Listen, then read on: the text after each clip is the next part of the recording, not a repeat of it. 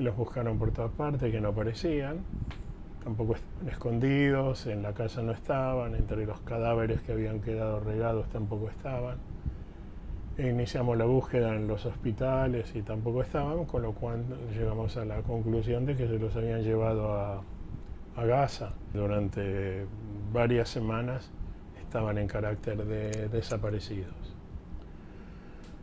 Con todo, para, con todo lo que para un argentino representa el término desaparecido.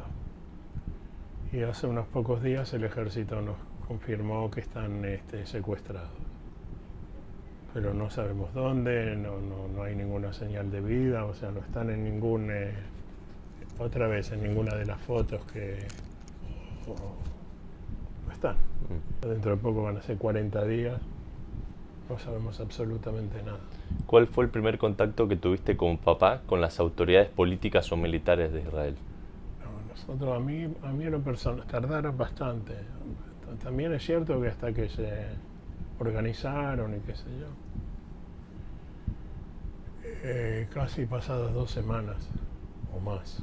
Es una comunidad de 400 personas hay 75 secuestrados, solo de Niroz. La proporción, eh, ahora entre los muertos y los desaparecidos, hay 100 personas, faltan 100, 110 personas, o sea, un cuarto de la población del kibbutz desapareció. Eh, yo digo porque proporcionalmente es uno de los kibbutzim que más eh, sufrió, porque Berí es cierto, todos los demás, pero como este es un kibbutz chiquitito y dentro de hay 25 eh, prisioneros argentinos y el 75% son de Niroz. Cuando el rehén más chiquito tiene mm. ahora tiene 10 meses, ya mm. cumplió un mes en, el, en cautiverio. En la casa de ellos no hubo, a diferencia de otras casas, no hubo señales de, de violencia, o sea, no hubo sangre. ¿Qué pasó desde que se lo llevaron hasta que cruzaron la franja? No sé. Aparte, otro de mis temores era mis dos hijos son grandotes como yo y egresados de unidades de élite. Lo único que me faltaba que, se, que les agarre la, como decimos acá, la llanana y, se... Pero no. Pero de vuelta, ¿qué pasó de...?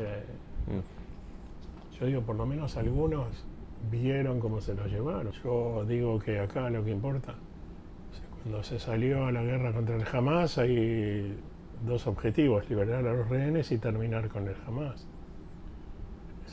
Me preguntas a mí, primero hay que liberar a los rehenes y después eh, hacer lo que haga falta. Y cuando termine todo este asunto, yo digo, cuando tronan los cañones las musas callan. Ahora los cañones están tronando en Gaza. Cuando terminen de tronar en Gaza, ¿cuándo? Cuando vuelvan todos los rehenes, cuando enterremos nuestros muertos, cuando nos devuelvan los cuerpos de los muertos que también se llevaron. Eh, los cañones deberán girar hacia adentro y apuntar hacia quien tenga que rendir cuentas.